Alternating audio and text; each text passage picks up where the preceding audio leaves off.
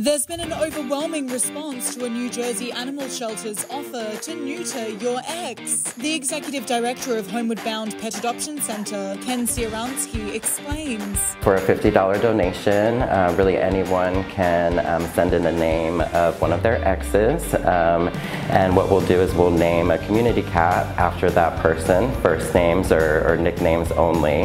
Um, and then that community cat will be um, spayed or neutered, uh, vaccinated, ear tipped, and then released back out to the community.